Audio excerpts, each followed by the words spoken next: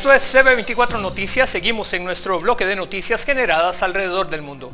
Donald Trump sostuvo una conversación telefónica con el presidente ruso Vladimir Putin. El reporte de nuestra cadena aliada La Voz de América nos mostrará los temas tratados entre los mandatarios. La Casa Blanca confirmó que el presidente Donald Trump habló por teléfono este martes con su similar de Rusia, Vladimir Putin. El encuentro con el presidente de Siria, Bashar al-Assad, quien fue recibido por Putin en la turística ciudad de Sochi, habría sido el tema principal de la conversación. Putin aseguró que su estrategia militar salvó el futuro de Assad en Siria en un momento en el que los grupos terroristas se fortalecían y una declaración de guerra de Estados Unidos en contra del gobierno de Assad parecía inminente. Me gustaría presentarle a las personas que desempeñaron el papel clave para proteger a Siria.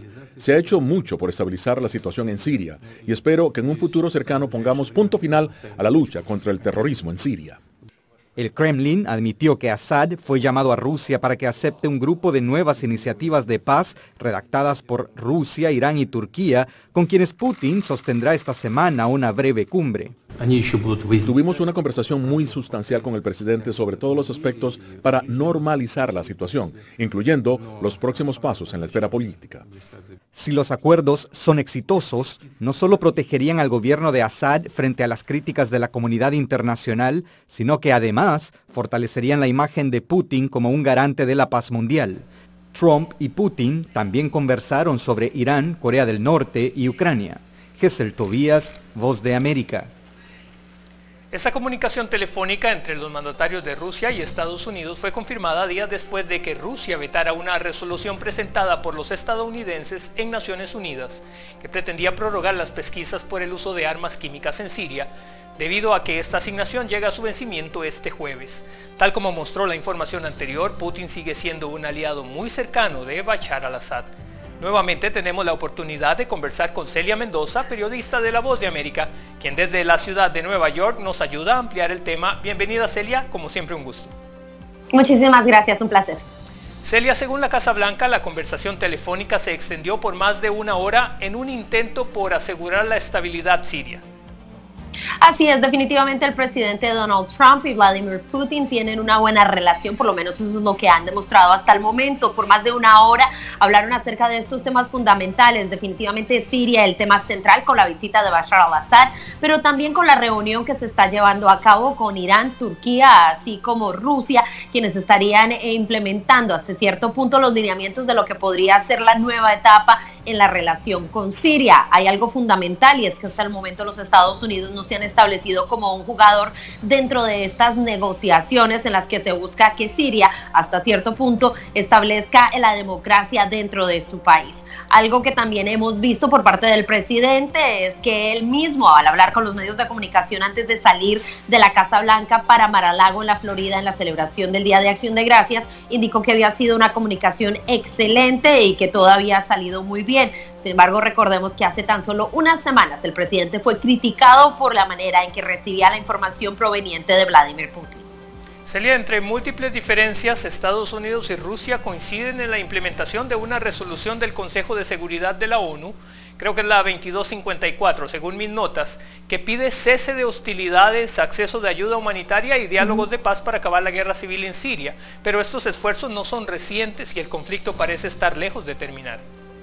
Definitivamente, algo que es importante es que ambos países están reconociendo que hay un problema humanitario. Es ahí eh, la idea de que Vladimir Putin haya ofrecido su ayuda para entrar y darle respaldo a Bashar al-Assad.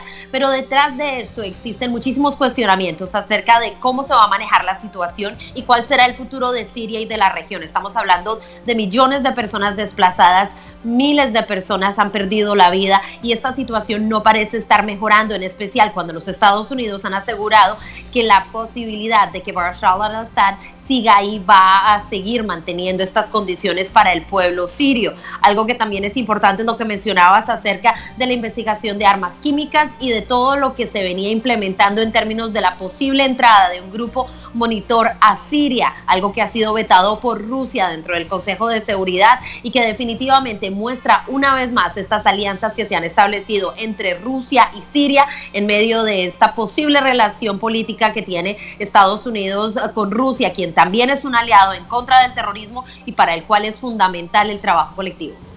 El Kremlin apunta a la necesidad de mantener intacta la soberanía, la independencia, la integridad territorial siria, algo que podría ser un gran punto de diferencia con la Casa Blanca que ha apoyado fuerzas rebeldes en el país.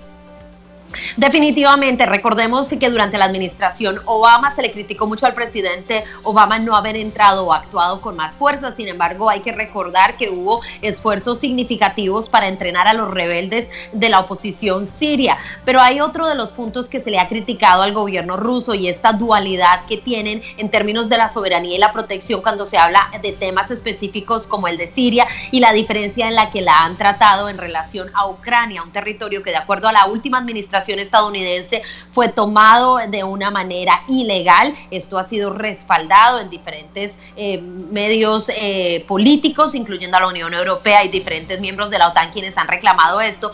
Sin embargo, el presidente Donald Trump, aunque ha hecho algunas menciones al respecto, aún no ha presionado a Rusia en torno a este tema en particular. Así que realmente se convierte en una doble moral, se le podría decir, desde lo que ven los estadounidenses. Y para concluir, los resultados de esta llamada, según el comunicado oficial, son alentadores, por lo menos, como te digo, en el papel.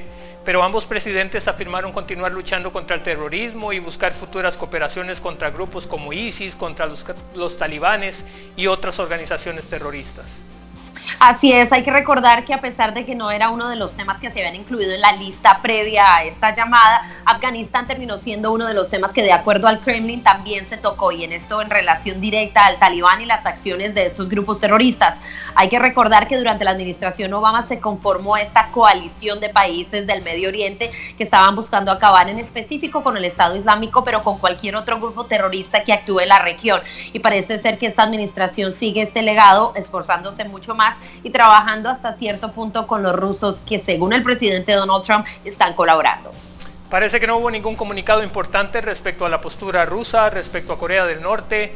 Rusia, como mencionaste, tampoco discutirá con Trump respecto a la paz en Ucrania, así que quedan pendientes en las relaciones estos temas de estas dos potencias. Gracias Celia, agradecemos tus muy precisas apreciaciones. Hasta la próxima. Muchísimas gracias Alejandro, un placer. Volvemos con más información tras una muy breve pausa.